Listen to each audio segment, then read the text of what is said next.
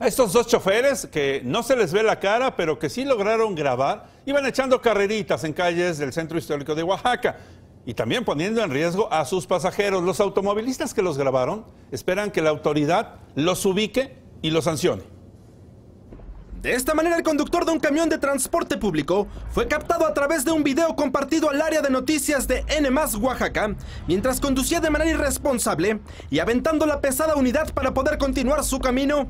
El autobús B-063 era conducido a exceso de velocidad y aunque en la zona había tráfico, al conductor parecía no importarle la situación que pudo terminar originando algún accidente vial.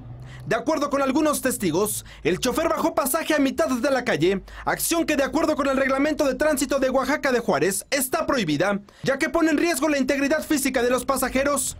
Los afectados hacen un llamado a la Secretaría de Movilidad de Oaxaca para llevar a cabo operativos y sancionar a estos choferes de transporte público que no respetan el reglamento de tránsito.